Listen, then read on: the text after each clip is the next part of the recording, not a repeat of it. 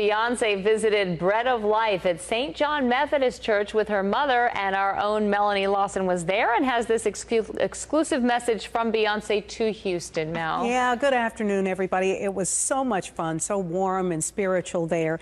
And she only spoke for about a minute. I'm going to share that with you just a moment.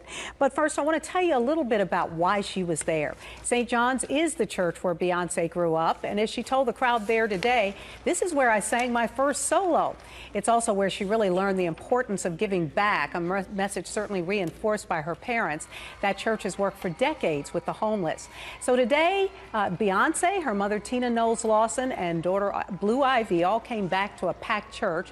Many of the folks here survivors of Hurricane Harvey, and Beyonce had a special message for them. This today is a celebration of survival. Yeah. Y'all are my family. Houston is my home. And I thank God that y'all are safe, that your children are safe. The thing that really matters is your health and your children and. You got it. And I just want to say I love you. And I'm so, so to God that I'm blessed so that I can bless other people. And I ask you guys to continue to do that for other people. Today, Beyonce and her mom provided a catered dinner for hundreds of people there. They also gave out brand new Nike sneakers to all of them. It's just the latest thing she's done, and really the answer to the question a lot of people have been asking where is Beyonce in all of this storm coverage, and why hasn't she been more visible?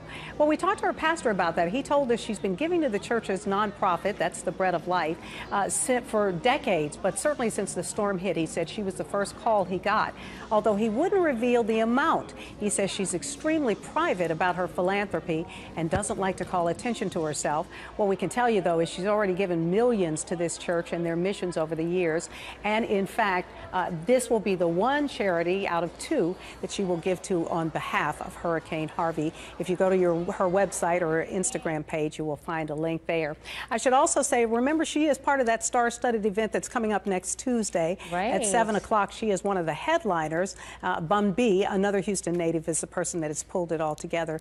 But uh, if you talk to Beyonce, she loves herself some Houston, and she says this will always be my home. Well, the timing of this is great because, you know, I think national attention moves on. Everyone's yes. concerned about Irma, and uh, folks here in Houston feel this very daunting, very long road to recovery. This is the time we need some cheerleading. Here. That's right, and it certainly is great when it comes from people who know the city very yeah. well, who've grown up here, and uh, I can tell you she has maintained close contacts with that church for as long as I can great. remember, even after she has moved on to other places. Always go back and help out where your roots are. Yep. Yeah, right that's there. exactly right. You, you can always go home again. That's right. Exactly. Close contacts with the church and with Melanie Lawson.